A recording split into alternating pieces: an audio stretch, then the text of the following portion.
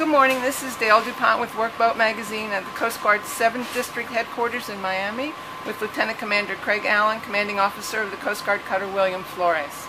This is the third and most recent of the fast response cutters to be delivered to the sector. The vessel, which was built by Bollinger Shipyards in Louisiana, will be commissioned November 3rd in Tampa. Good morning, Mr. Allen. First of all, please tell us the major ways this cutter differs from the last generation, how it helps you do your job differently and better. Good morning, ma'am. Uh, this is a, uh, in many ways, uh, superior vessel to the 110-foot Island class that it's replacing. Uh, for one thing, the most obvious feature is it's much larger. It's about half again as long, about twice the tonnage of the 110.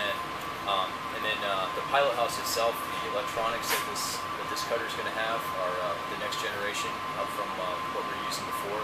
Um, gives us just a lot more operational capability uh, ability to process information that is collected through various sources, and then also to take the information that we receive on scene and transmit it back to our operational commanders ashore or on other units.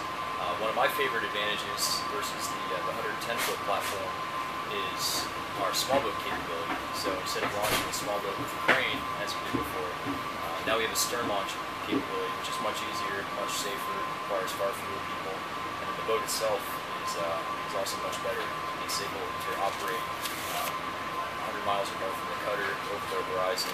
Um, so a very capable small boat. Also good for uh, pursuing other contacts that you have to uh, chase. Okay, great.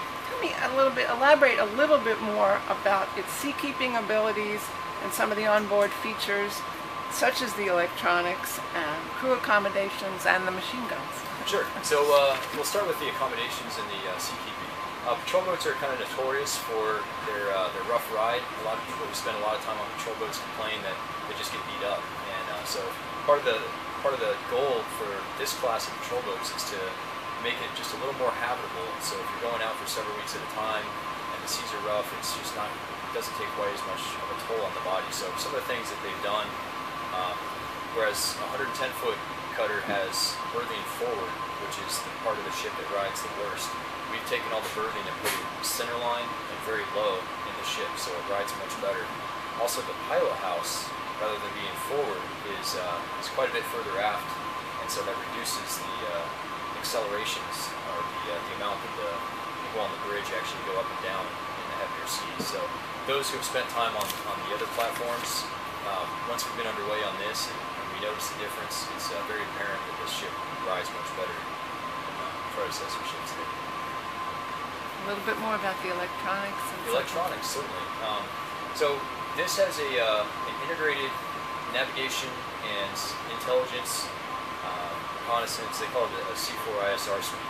Um, so some of the things that it can do is, uh, for example, our radar can actually integrate infrared um, visual imagery into our radar. So if we detect contact, not only do we have a, an electronic detection, we can also verify that with an automated information system or AIS uh, contact, and also we can use our infrared camera to automatically pan to and focus on that contact. So we have um, a, a, good idea of its geographic position, its bearing and range, anything that, that they're broadcasting by AIS, and also a good visual on the contact, which is just a, an amount of integrated information that we didn't really have um, before.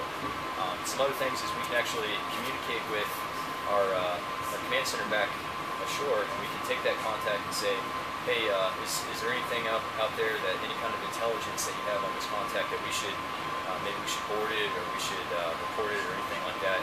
And much faster than we were able to before, we can get that information back on board and use that to process that. Is it a high threat contact or something that is innocent and we can just let it continue on its way? Okay, and one last question. The sector has the Bernard Webber and the Richard Etheridge, and I'm just wondering what's the most challenging test to date um, that any one of the three vessels has faced, and how did they respond? Well, I think to date, for for us personally, uh, we actually we got our cutter, and uh, nine days later we had to evacuate for uh, Hurricane Isaac, which is coming through the Florida Keys. So if you ever think about moving into a new house, that's kind of what we were doing. We had gear here and there, and trying to put everything away, and all of a sudden uh, we said, "Oh, we gotta get the ship underway, and, and we went up to uh, Port Canaveral. So for us, that was just kind of accelerated our, our uh, timeline a little bit as far as uh, getting the ship underway and sailing. And uh, it was not not real bad, but the seas were a little rough going up there, so it just kind of gave everybody a, a quick immersion in being underway. Um, as far as operations, uh, really our biggest hurdle so far has just been getting a new class of ship up and running. We don't have very much that's already there as far as doctrine or established procedures for us to look at and say, okay, that's how it's been done, that's how we're going to do it. So we're sort of pioneering a lot of the the, uh, the ways of doing things, and then collectively between the three cutters that are that are here right now, just sharing our lessons learned and kind of trying to come up with what's the best way to go about doing this particular mission. Thank you very much. We appreciate it, Captain ma'am. Allen. My pleasure. Okay.